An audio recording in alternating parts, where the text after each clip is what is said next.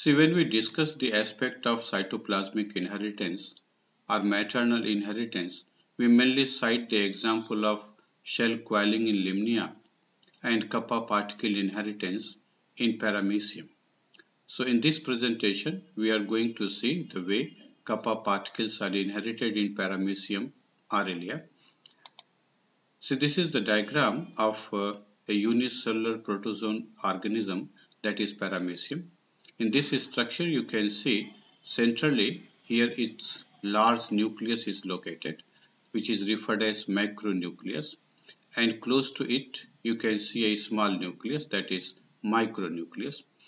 But in case of Paramecium aurelia, you will find the presence of two micronuclei.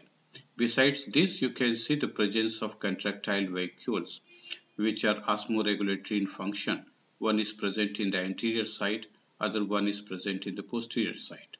You can see a clear area which is actually its oral side.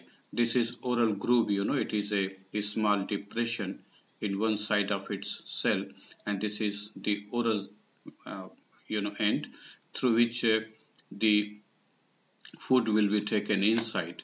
So this portion is its gullet and you can see the presence of food vacuoles. This is food vacuole. This one is food vacuole. And uh, besides this, the presence of cilia all along its body could be observed. So kappa particles are found in Paramecium aurelia and uh, these particles are found in the cytosol. So let us see the fate of such particles and how it gets inherited to further generations.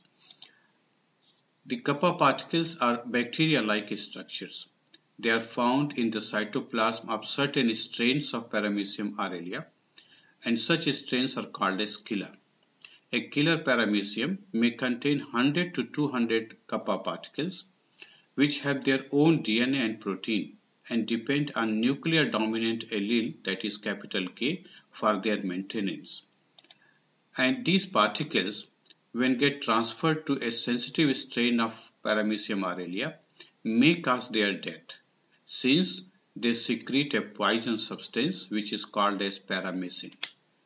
Paramecium aurelia is a diploid protozoan that undergoes sexual reproduction through conjugation and autogamy and it can also reproduce asexually through binary fission. In this diagram, we can see that on the upper side two paramecia are shown. So these are two paramecia, one is killer, other one is sensitive. This one is killer because it contains the kappa particles which I just said could be 100 to 200 in number and these are bacteria-like structures. They have their own DNA but uh, the kappa particles are maintained in the cytosol of the paramecium if there is presence of a dominant allele in the paramecium and that too in its nucleus means the uh, chromosome content possesses a dominant allele that is capital K. So if it is there then it will maintain the presence of kappa particle in it otherwise the absence of this dominant allele will result disappearance of particle from the cytosol. So this one is a killer strain because it contains such particles and it also contains a dominant allele which help the maintenance of the, such particles.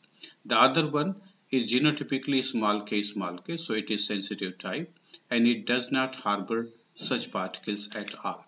When these two different strains undergo conjugation process and conjugate for a short period of time, very short period of time. During such period, only nuclear contents are exchanged and cytoplasmic contents are not exchanged at all. In such situation, after conjugation, see these two X conjugates, that is those paramecia which have separated after conjugation, they will have their genotype capital K small k and capital K small k. So this one, this left one is actually maintaining the presence of kappa particles. It remains as a killer one because it possesses a dominant allele capital K and it did not actually uh, lose its such particle during the conjugation process. It means such particles are retained in it. Whereas the other one although contains capital K allele in it because through exchange it got capital K allele but cytoplasmic exchange was not there so kappa particles could not reach in it so it remained as sensitive one. Otherwise if if there would have been conjugation for longer time so that kappa particles could have come in it then it would have changed into a killer form see in this diagram again two paramecia are shown one killer other one is sensitive the killer one has genotype capital KK, sensitive one has genotype small k small k. Now in this case they are undergoing conjugation for longer duration. So there is exchange of kappa particles between the two. Now the X conjugates they have kappa particles in them and they are genotypically same that is capital K small k and capital K small k. So in their case uh, they are now changed into killer forms particularly this right one is now changed into killer form because it has got kappa particles from its partner and now the maintenance of this particle is possible because genotypically it is also containing capital K allele. In this diagram exactly the same thing is shown but uh, we can see one step further here uh, this left one is a killer paramecium and uh, it has its genotype capital K capital K. The other one sensitive has its genotype small k small k. They undergo conjugation process. During such process, there is no exchange of cytoplasm because they are conjugating for a short duration. Only nuclear contents are get, getting exchanged. So after conjugation, they are now capital K small k and capital K small k. But this left one is killer because it contains kappa particles whereas the right one is a sensitive one because uh, it is not receiving kappa particles from the other partner and in such situation it will not be able to uh, synthesize such particles at all because the presence of such particles and the presence of dominant allele both will have to be there.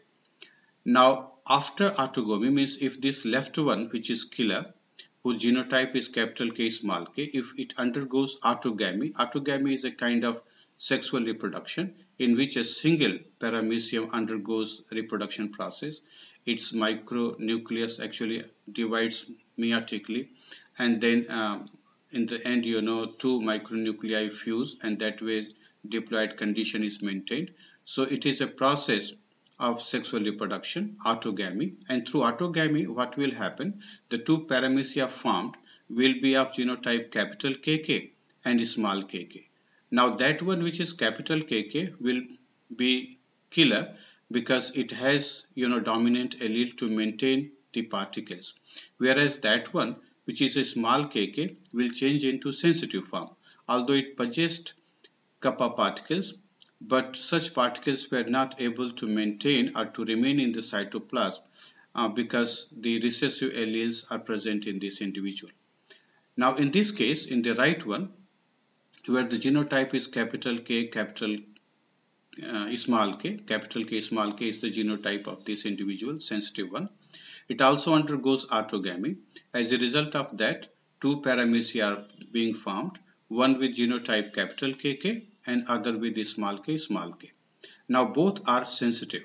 They are sensitive because they do not contain kappa particles and at all. And even this one which is having genotype capital KK will not be able to maintain such structures because such particles are totally lacking in it.